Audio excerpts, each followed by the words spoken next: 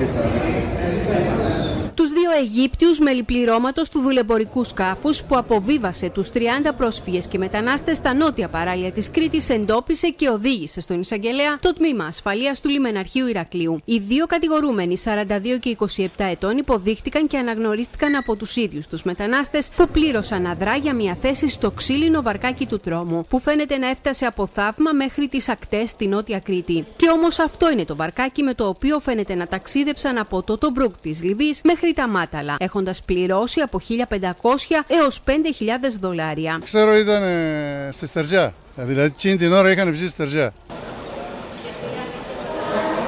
Εμπειριλημενικοί εκτιμούν ότι ο καλός καιρός έσωσε τη ζωή των επιβενόντων στο μικρό σκάφος που ήταν φορτωμένο ασφικτικά με 32 άτομα, καθώς με τον παραμικρό κυματισμό το ταξίδι της Ελπίδας θα κατέληγε σε τραγωδία.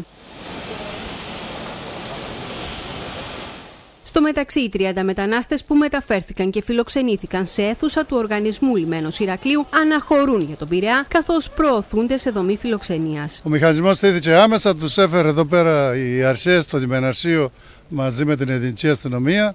Ο οργανισμός που κλήθηκε παρευρεθήκαμε μέσως, τους φέραμε χημικέ τουαλέτες, νερά, σε λίγο θα έρθει φαγητό. Θα φέρουμε ό,τι μας πει η λιμενική αρχή, αυτό θα κάνουμε μετανάστες εντοπίστηκαν αρχικά από αστυνομικούς του τμήματος Φεστού στα Πιτσίδια, ενώ το βαρκάκι βρέθηκε λίγη ώρα αργότερα στη θαλάσσια περιοχή των Ματάλων σε απόσταση δύο ναυτικών μιλίων από την ακτή. Πάνω στο σκάφος βρέθηκαν μπετόνια με καύσιμα, ωστόσο σε συνδυασμό με άλλες διαπιστώσεις, η Διεύθυνση Ασφαλείας και Προστασίας Θαλάσσιων Συνόρων, σε συνεργασία με το Λιμεναρχείο Ηρακλείου, εξετάζουν όλα τα ενδεχόμενα. Αφενός για τη συμμετοχή των συλληφθέντων σε άλλες παρόμοιες υποθέσεις, αλλά και τη συνεργασία τους με μέλη οργανωμένων κυκλωμάτων με ίδιες ή παρόμοιες εγκληματικές δραστηριότητες, όσο και το ενδεχόμενο συνεργασίας τους με ντόπιους.